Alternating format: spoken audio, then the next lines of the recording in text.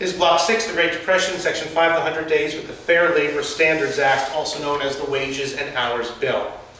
The Wages and Hours Bill set a federal minimum wage for the first time in American history in all industries engaged in interstate commerce. So if you're, if you worked in an industry that engaged in interstate commerce, which is pretty much every industry, if you worked in an industry that engaged in interstate commerce, there was a federal minimum wage and a federal maximum amount. The minimum wage was 40 cents an hour, and you had you could work a maximum of an eight-hour day, 40 days a week, 40, 40 hours a week, eight hours a day, five days a week for a total of 40 hours.